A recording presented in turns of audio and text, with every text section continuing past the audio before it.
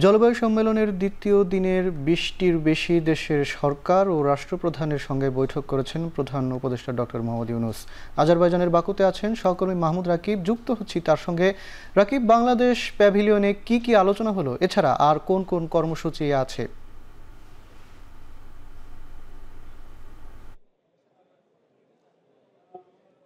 মাঝার, মূলত কিছুক্ষণ আগে বাংলাদেশের প্যাভিলিয়নের কর্মসূচিটি শেষ করে প্রধান উপদেষ্টা ডক্টর মোহাম্মদ ইউনুস তার আজকের অন্য যে কর্মসূচি সেখানে গিয়েছেন আমরা মূলত জেনেছি যে এখন প্রধান উপদেষ্টার একটি দেশের প্রধানমন্ত্রীর আমন্ত্রণে একটি ডিনার পার্টি রয়েছেন। সেখানে তিনি গিয়েছেন। সেখানেও সেই দেশটির সঙ্গে বাংলাদেশ কীভাবে আগামীতে সম্পর্ক উন্নয়ন করবে, কীভাবে বাংলাদেশের সঙ্গে একে সাথে কাঁধে কাঁধ মিলে জলবায়ু পরিবর্তনের কাজ করবে, তা নিয়ে সেখানে আলোচনা হবে। আর আজকের এখানে যে আলোচনাটি হয়েছে, এখানে মূলত আলোচনা হয়েছে বাংলাদেশের যারা কৃষক রয়েছে, তারা কীভাবে জলবায়ু পরিবর্তনের যে চ্যালেঞ্জ সেটি মোকাবেলা করে তাদের কাজগুলো করবে। এখানে কয়েকটি বিষয় কিন্তু ডক্টর মোহাম্মদ ইউনুস তুলে ধরেছেন। তার মধ্যে একটি ছিল ব্যাংকিং খাত। তিনি বলছেন যে বাংলাদেশের যারা কৃষক শ্রেণির মানুষ, তারা ব্যাংকিং খাত থেকে সুবিধা পায় না। মূলত যারা উচ্চবিত্ত, তারাই ব্যাংকিং খাতের সুবিধাটা নিয়েছে এবং তিনি এও কিন্তু বলছেন যে গত পনেরো বছর ধরে যে বাংলাদেশের ব্যাংকিং খাত থেকে শুধু উচ্চবিত্তরাই কিন্তু সুযোগ সুবিধাগুলো নিয়েছে।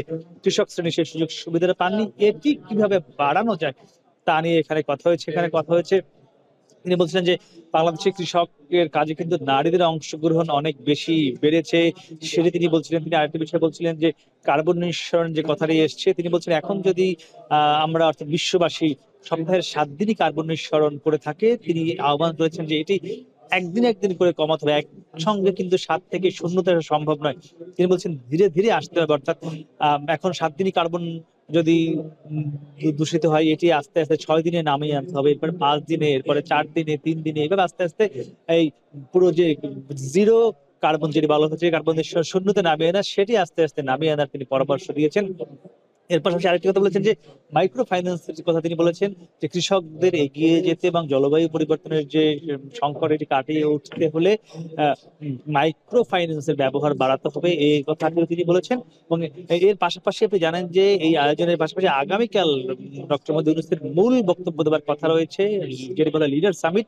সেটি বাংলাদেশ সময় আগামীকাল দেড়টা থেকে তিনটার মধ্যে তিনি বক্তব্য দেবেন। সেই বক্তব্যে তিনি মোট তিনটি বিষয় গুরুত্ব দেবেন। একটি হলো থ্রি জিরো পলিসির কথা তিনি সেখানে তুলে ধরবেন। তিনি তুলে ধরবেন জীবন যাত্রা মান বা জীবন মান কীভাবে পরিবর্তন করে পরিবেশ সম্মত করা যায়, সেটি নিয়ে তুলে ধরবেন। এর পাশাপাশি তিনি বিশ্ব যে যারা নেতারা রয়েছে, তাদের কাছে প্রশ্ন ছুড়বেন যে, কবে ক্ষতিগ্রস্ত দেশগুলো জলবায়ু পরিবর্তনের ফলে যে ক্ষতি হচ্ছে, তার ক্ষতিপূরণ পাবে কবে? সেই প্রশ্ন কিন্তু তিনি আগামীকাল বেশ জোরালো ভাবে করবে বলে আমাদেরকে নানান ভাবে আমরা জানতে পেরেছি। আমার কাছে ছিল সবশেষ মাজার।